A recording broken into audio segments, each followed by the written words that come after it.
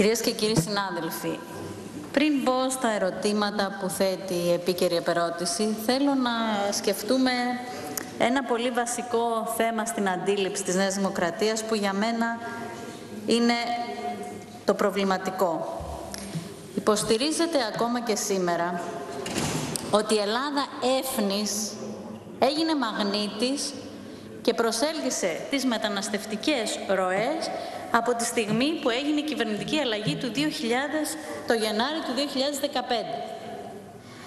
Αν ισχύει αυτό, τότε τι αντίστοιχα γίνεται με την Ιταλία, με την Ουγγαρία, σε όλη την Ευρώπη και σε ολόκληρο τον κόσμο; Φταίει ο ΣΥΡΙΖΑ για αυτό το πράγμα; Μήπως φταίει ο ΣΥΡΙΖΑ που η Ευρώπη αντιμετωπίζει αυτή τη στιγμή τη μεγαλύτερη εκτόπιση και μετακίνηση ανθρώπων μετά το Δεύτερο Παγκόσμιο Πόλεμο μας καταλογίζεται τέτοιες περφυσικές δυνάμεις. Μακάρι να τις είχαμε, κάναμε κι άλλα.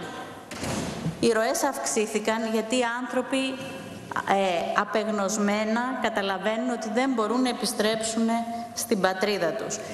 Δείτε στη τηλεόραση, δείτε παντού τις φωτογραφίες από τη Συρία, σωρός από ερήπια. Το 2014 είχαμε 45.000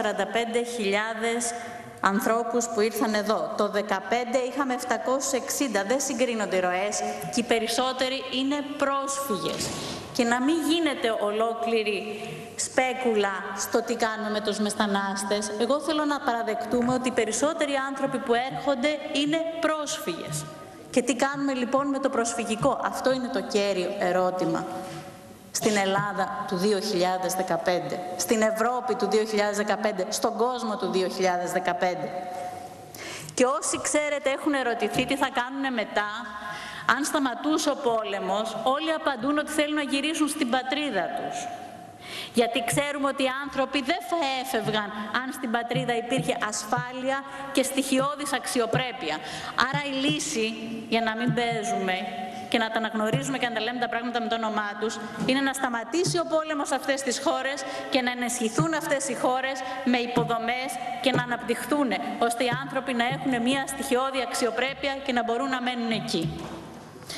Καταγγέλλεται, χαλαρώστε, δηλαδή είναι γελίο. Κατα, καταγγέλλεται για τα hot spots στα νησιά, που θα τα πω κέντρα ταυτοποίησης, τα λέω όμως για να έχουμε μια κοινή γλώσσα, ότι είναι πόλος έλξης, μαγνήτης. Δηλαδή πιστεύουμε ότι οι άνθρωποι διακινδυνεύουν τη ζωή τους και τη ζωή των παιδιών τους για να πάνε σε ένα ωραίο hot spot; Ή ότι δραπετεύουν από τον πόλεμο και από την καταστροφή γιατί δεν έχουν άλλη επιλογή; Ένα Σύρος πρόσφυγας είπε και το έχει, έχει έτσι κυκλοφορήσει και πολύ στο διαδίκτυο κανείς δεν διακινδυνεύει να βάλει το παιδί του σε μια βάρκα παρά μόνο αν το νερό είναι ασφαλέστερο από τη στεριά. Επίσης η κυρία Κουντουρά με την οποία συνομίλησα διαψεύδει αυτά που είπατε ότι είπε και είπε ότι τα hot spot δεν θα πρέπει να είναι σε κεντρικό μέρος και θα πρέπει να είναι ολιγόμερης διαμονής. Αυτά με διαβεβαίωσε ότι είπε στον Κώτη, έτσι, δήμαρχο. Και το τελευταίο, θα θέλαμε όλος αυτός ο κόσμος να είναι και να τριγυρίζει στα νησιά χωρίς να έχει ένα χώρο που να μπορούσε να εμπεριεχθεί και να μπει μέσα. Αυτό θα προωθούσε τον τουρισμό της περιοχής. Πώς το βλέπουμε; Το είδαμε όταν γίνεται ότι λειτουργεί αντίθετο. Μας κατηγορείται για τη φύλαξη των συνόρων και ειδικά των θαλασσίων. Λοιπόν, όταν μπει ένα πολεμικό πλοίο άλλης χώρας, σαφώς το ε, υπάρχει ανακοπή της εισόδου και σαφώς υπάρχει προστασία συνόρων. Ξέρετε όμως ότι είναι και απάνθρωπο και παράνομο να κάνεις επαναπροωθήσεις ανθρώπων. Όταν δεν ξέρεις πάνω στη βάρκα τι είναι και δεν μπορείς να κάνεις τον έλεγχο την ώρα που ο άλλος πνίγεται. Πρέπει να κάνεις διάσωση. Πάνω στη βάρκα θα διασώσεις όλους τους ανθρώπους. Αυτό είναι το βασικό. Και μετά θα ακολουθήσει η διαδικασία ταυτοποίησης. Εκείνη την ώρα θα τους σώσεις όλους. Εμείς σταματήσαμε τις παράνομες επαναπροωθήσεις που γίνονταν πριν και ήταν ενάντια στο Σύνταγμα, στο Ευρωπαϊκό Δίκαιο και είμαστε περήφανοι γι' αυτή. Γι' αυτό. Είμαστε περήφανοι που ε, ε, με υπετιότητά μας από επαναπροωθήσεις δεν πνίγονται άνθρωποι. Αν μπορείτε παρακαλώ μια λίγο ησυχία, θα το εκτιμούσα. Λέτε λοιπόν ότι ο Πρωθυπουργός μετατρέπει, σε άλλο κομμάτι της ερώτησής σας, ότι ο Πρωθυπουργός, θα δώσετε δύο-τρία λεφτά αν έχει την καλοσύνη, μετατρέπει τη χώρα σε αποθήκες ψυχών και υπονομεύει την απέτηση για αναλογική κατανομή προσφύγων σε χώρες Ευρωπαϊκής Ένωσης. Γνωρίζετε πολύ καλά ότι την πρώτη φορά που πραγματικά η Ελλάδα έθεσε το θέμα για την αναλογική κατανομή προσφύγων στην Ευρώπη ήταν από κυβέρνηση ΣΥΡΙΖΑ και από τον Αλέξη Τσίπρα. Έτσι είναι. Εσείς, αγαπητοί συνάδελφοι, πριν είχατε βρει άλλη λύση.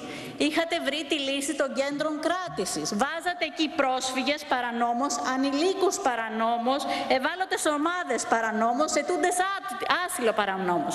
Και ήταν αυτή μια λύση που έφερνε κάποια αποτελεσματικότητα. Τους κρατούσατε παρανόμως τους ανθρώπους μέσα, βγαίνανε, τους ξαναπιάνατε, τους ξανακρατούσατε. Βλέπουμε έτσι κάποιο ρεαλισμό στην αντιμετώπιση του μεταναστευτικού. Καταγγέλλεται λοιπόν ότι στην Ελλάδα θα, μείνουν, θα εγκατασταθούν 50.000 πρόσφυγες. Έχει απαντηθεί. 50.000 πρόσφυγες θα είναι σε αυτά τα μέρη που θα είναι ένα ποσοστό θα μετεγκατασταθεί, θα μεταφερθεί σε άλλες χώρες της Ευρώπης και ένα άλλος ενδεχομένως να ζητήσει άσυλο και αν όχι θα ακολουθούν οι νόμιμες διαδικασίες. Εγώ θέλω να θυμίσω το 10, το 11, το 12 και το 13. Θυμάστε πόσοι άνθρωποι είχαν εγκλωβιστεί εδώ; Έχετε ξεχάσει τι γινότανε στην Πάτρα και στην Ιγορμενίτσα.